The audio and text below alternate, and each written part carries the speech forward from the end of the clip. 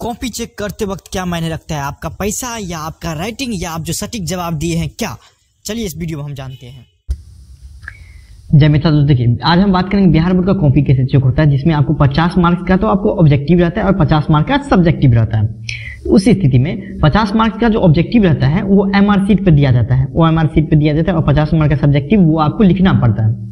तो आज हम बात करेंगे दोनों कैसे चेक होता है, उसके बारे में हम आपको बात करेंगे, जो कि जानकारी आपको बहुत ही ज़्यादा फ़ायदा करेगा, ताकि आपको हंड्रेड में हंड्रेड मार्क्स या फिर नाइन्टी प्लस लाने में दिक्कत ना हो।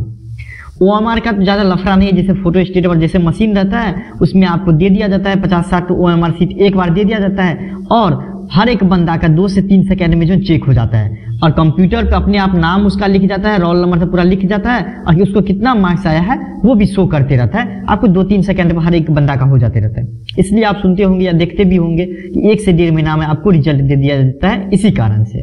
कि आपको ओ एम आर सीट में आपको ज़्यादा टाइम नहीं लगता है। टाइम जिसमें लगता है वो आपको पचास मार्क्स जो टीचर चेक करते हैं, उसमें लगता है। और उसके बारे में हम बताएँगे कैसे चेक होता है, उसके बारे में भी हम बताएँगे आपको। देखिए, पहले ओ एम आर सीट की बात करते हैं कि कंप्यूटर कृत रहता है। अब मान लीजिए पचास का बोलता है, सौ में से पचास का जवाब देने के लिए ओ एम आर सीट पे।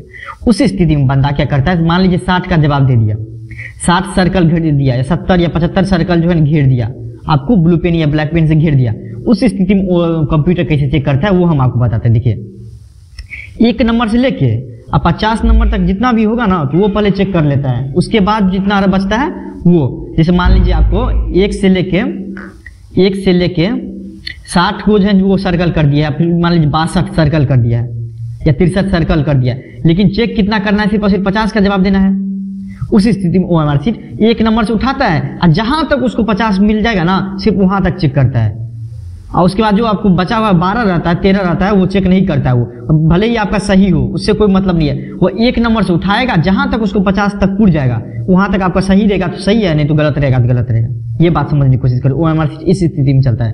मान लीजिए कोई बंदा साठ सही कर दिया, लिख दिया, अब बोलेगा कि साठ में तो कम से कम पचास मेरा सही हो जाएगा। उस स्थिति में ऐसे नहीं चेक होता है ओ एम आर वो क्या करता है? कंप्यूटर बेस्ड रहता है ना? तो कंप्यूटर एक नंबर से लेके जितना तक में पचास को हो जाएगा, उतना तक में वो चेक कर देता है। या तो सही रहेगा या गलत रहेगा।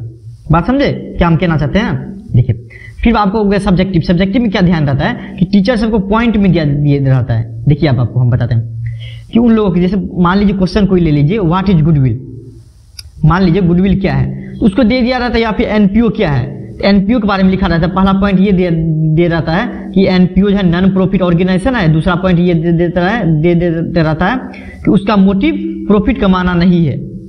दूसरा पॉइंट ये दे देते रहता है। तो आपको इस बेसिस पे वो चेक करते हैं। कि दो पॉइंट आपको मिल गया, मान लीजिए एक भी पॉइंट आपका क्वेश्चन जो लिखे हुए हैं आंसर उसमें मिल गया तो आपको नंबर दे देता है। सिर्फ़ उसको पॉइंट में दिया रहता है, समझे? याद रखिएगा। तो उस बेसिस पे कॉपी चेक करता है। जैसे एनपीयू का हर एक बंदा जो हर एक तरीका से ग्रामर तो सबका अलग रहता है ना? हर एक तरीका से लिखा होगा, लेकिन जो मेन पॉइंट है, वो सिर्फ़ सबका सेम रहना चाहिए। समझे बात? फिर देखिए आपको, वो ये भी देखता है आपको कि कितना सही है आपका। ये तो कॉमन सी बात है कि सही है कि गलत लिखे हैं, वो देखता है। तीसरा बात क्या आपको राइटिंग दिखता है। अगर राइटिंग आपका सही है ना, उसमें आपको हिचपिचाता नहीं है, वो आराम से नंबर दे देता है। राइटिंग अगर आपका साफ़ सुथरा है तो आराम से नंबर मिल जाते रहता है। आपको थोड़ा बहुत गलत भी है इधर उधर भी है तो आपको नंबर दे देते रहता है। और चौथा बात याद रखिएगा क्या आप, कि आंसर जो लिख रहे हैं ना, मान लीजिए पहला का आंसर लिख रहे हैं तो पहला नंबर लिख दिए, और दूसरा का आंसर मत लिख दीजिएगा।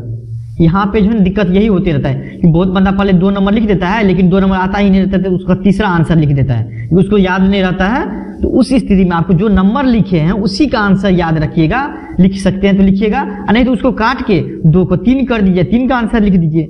बात समझे?